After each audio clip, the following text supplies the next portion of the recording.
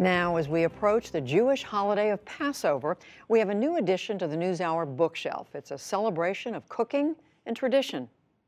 When I started the book, I decided I really wanted to go to India because I knew there was a Jewish community there. And when I got to the synagogue in Cochin, it said that Jews had been coming there from the time of King Solomon.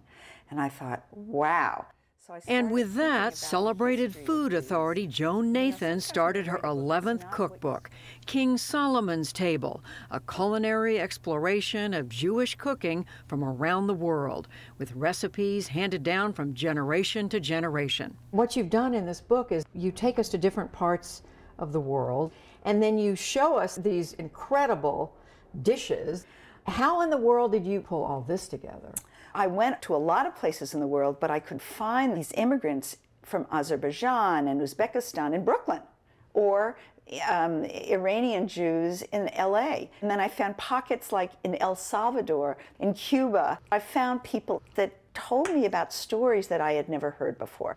How did you decide um, which foods to choose? You know, when I find a really wonderful dish, then um, I go with it. Uh, for example, I went to a, an Ethiopian Jewish dinner in California. I was in San Diego. And I went to a Shabbat dinner.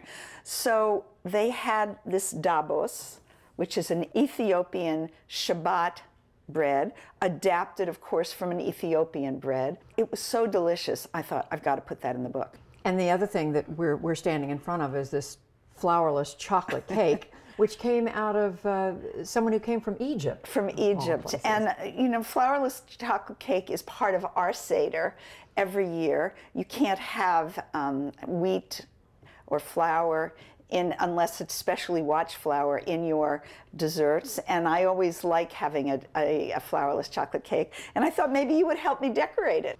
Good. I'm going to do a little of this while you're talking. Right. That looks beautiful. Um, I've been very lucky through the years. The people have opened up to me all over the world. And like, for example, I wanted to get Iraqi recipes, but I couldn't go to Iraq. But I was told that the best Iraqi cooks live in London. So I went to London and I got a wonderful um, Passover macaroon. And then somebody told me about a recipe called schritzlach. And it was a blueberry bun that people in Toronto ate.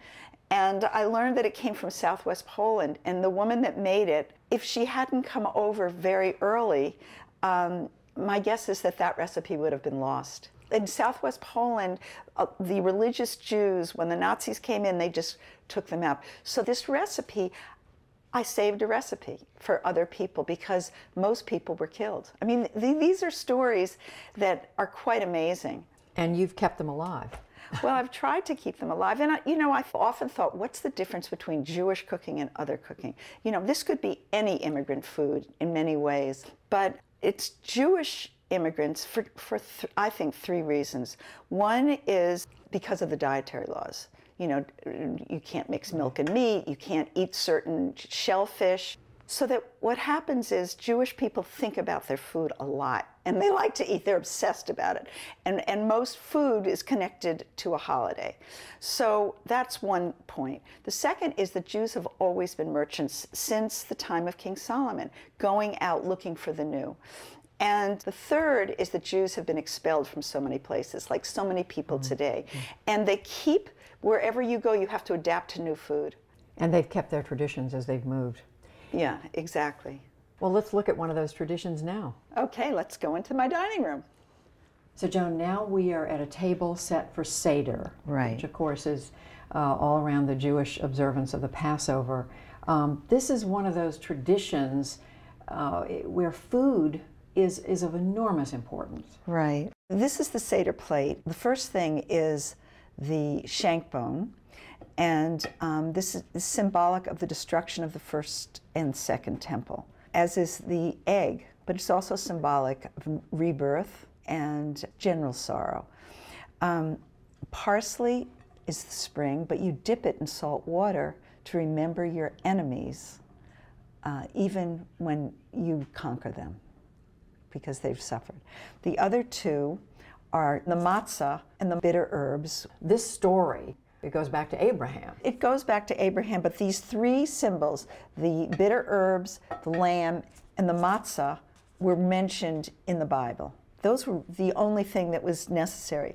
And it wasn't until after the destruction of the Second Temple that Passover became a home festival around a table because there was no longer a temple in Jerusalem. You've made some sweet Right. This is a sweet blend. This is symbolic of the um, mortar when the Jews were slaves in Egypt. So it's all slavery to freedom.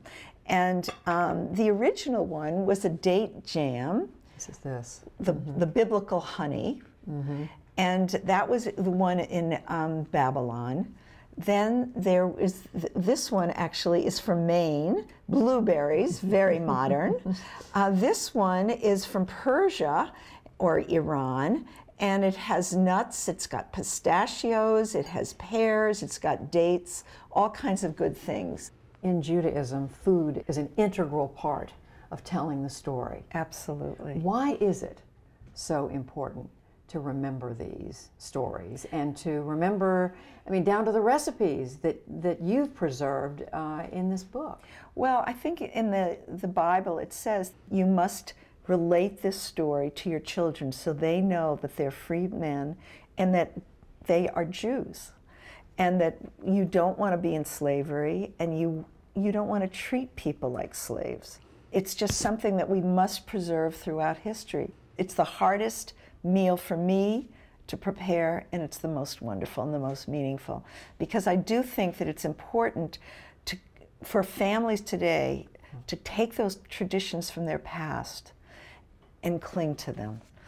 And I really get totally moved when I think about the Seder with Jews all over the world at the same time reading this ancient text and enjoying foods from all over the world.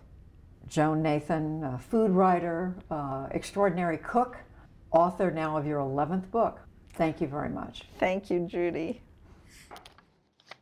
And you can get Joan Nathan's recipe for flourless cake, chocolate cake, on our website, pbs.org slash newshour. It's delicious.